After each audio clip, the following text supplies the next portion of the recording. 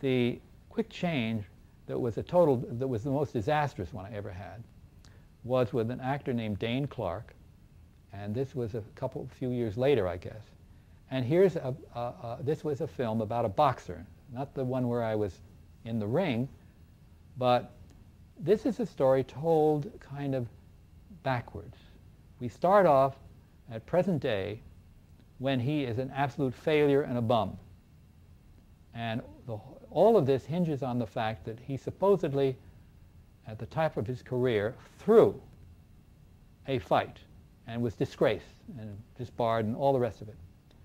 Uh, so here he is a bum, and I used my Eddie Senz trick of the KY lubricant with black in it to make him all dirty and bummy and everything like that.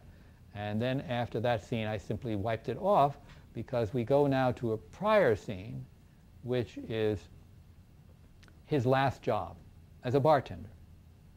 And in that scene, he, uh, a patron, drunken at the bar, insults him. And in a rage, he jumps over the bar and pummels this man to the floor. And of course, naturally, he's fired. Well, they did this in rehearsal, and Dane got hurt a little bit. It was quite a feat jumping over this bar and landing on top of this other guy.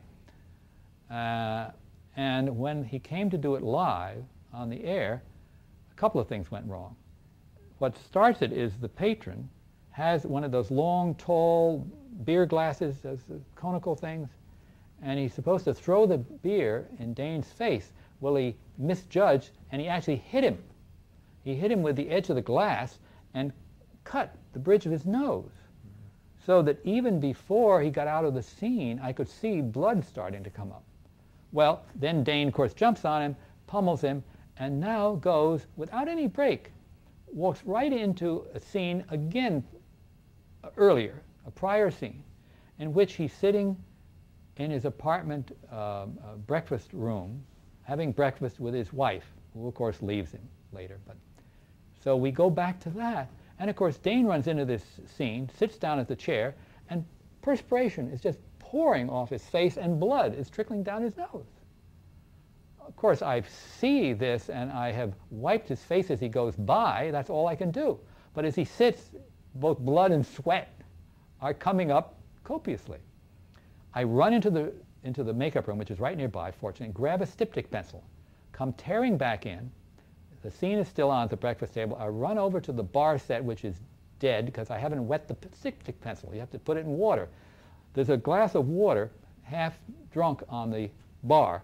So great, I swish this, this pencil in there quickly, styptic pencil, and wait for Dane, who comes out now rushing to another set. I wipe his face and go dab the styptic pencil on the blood to stop it, which, is, which it does. But as he charges by the bar, he's thirsty. He picks up the water that I have already put the styptic pencil in, which is alum, and very drying, and he takes a drink. Immediately tastes there's something wrong, but it's too He spits out what he can. It's too late. I mean, it was just a bad luck thing all along. Then he charges on to another set. A, a, another, a little later, we, we come to the big climax. I think it was only an hour show. It wasn't very long. What's supposed to happen is, well, he's in, you see him go into the ring in his boxing trunks. Uh, which he had underneath his clothes. So he got out of his clothes, goes into the ring boxing trunks. You, we hear all the noises of the fight. And he comes out of this, when, he, when this is over, he is supposed to appear uh, dressed and going home after the defeat. But to show that he really fought, which is the whole point of this story, that he didn't throw the fight, that he was really beaten, his face is supposed to be brutally beaten, all swollen up and puffy. And I've got to put these, all these bruises on behind this set in a narrow, darkish space, and he's got to get his clothes on again over his boxing trunks. And we only have like maybe a minute and a half, a really short time. He pulls on his trousers and the zipper sticks. And he can't, and now this man is struggling to get the zipper up, and I'm trying to hit this moving target with these pre-sticky appliances, these, these pieces of swollen cheeks and bruised eyes and all this stuff, and get that on.